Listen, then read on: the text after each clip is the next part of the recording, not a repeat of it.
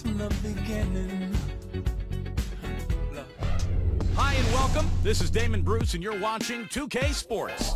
Thursday Hoops. It's the San Antonio Spurs going up against the Miami Heat. And that'll do it from the studio. Let's get you out to Kevin Harlan and the rest of the 2K Sports broadcast crew at the arena. I'll see you back here at halftime.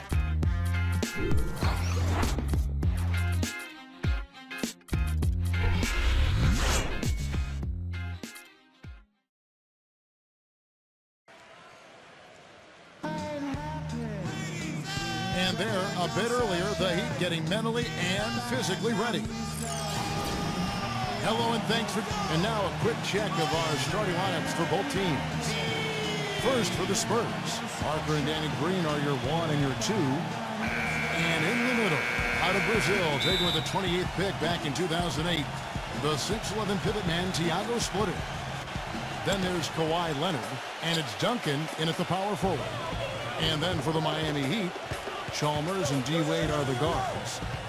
We've got Allen each and every night. So important to utilize that size under the basket, and you know he'll be contributing in every way he can here tonight. Then there's Chris Bosh, and it's Haslem in at the four spot. Parker passes to Green. No good from outside. Boy, even though he missed, you can't give up that kind of a look very often. Yeah, they're lucky that they didn't get burned on that one. Boy, this is a neat story, guys. Danny Green was undrafted out of North Carolina. And another nice find for perhaps the best organization in all of sports, the San Antonio Spurs. He's an excellent three-point shooter, over 40% from three-point range for his career. He helps that team spread the floor, and that energizes their high-powered offense. And Green, nice versatility, too. Not just an outside shooter. No, he's an excellent defensive player. In fact, Gregg Popovich calls upon him to often guard the opponent's best wing player. So uh, for Green, a two-way player, a guy who can get it done at both ends of the floor. So one for two that time at the stripe. Guys, you go back to the shortened season a year before last, and the Spurs were the best team on the road. But last year, they weren't nearly as dominant on the road. Still solid when leaving San Antonio, but far from the level they played at a couple of seasons ago. And the foul on Dwyane Wade. That's his first foul. Well, that was a quick foul for him there. The refs are certainly calling it close.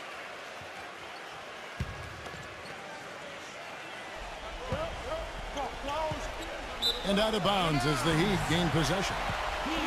And for the Spurs on the road last season, they would still win 23 games in hostile territory. And while that is more than the 22, Steve, they won in the shortened season, they also lost a, a fair amount more as well.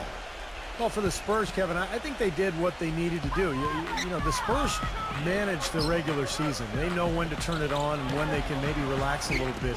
The big thing is they just want to stay near 500 on the road, protect their home court, and be healthy going into the playoffs, and that, that puts them in a good position. Parker kicks to Green. That drops, and it comes off an assist from Parker. Oh, Maestro, he is so good at making those lead passes, like conducting an orchestra. Here's Haslem. It's hauled in by Duncan. Duncan's got his third rebound tonight. And San Antonio has possession. Doris Burke has some information for us. Doris? Kevin, thank you. I caught up with Erik Spoelstra. I asked him about how his team was going to handle the veterans of the Spurs, and he said there really isn't a whole lot that Duncan and them haven't seen, so you can't surprise them one way or another. Really, it comes down to us being as careful with the ball as they are and being efficient in our possessions. Sounds simple enough, gentlemen. Thanks again, Doris. Only three teams in the entire Eastern Conference had a better than 500 record against the West, and no surprise the Heat were one of those three, and they were dominant against Western Conference opponents all year long.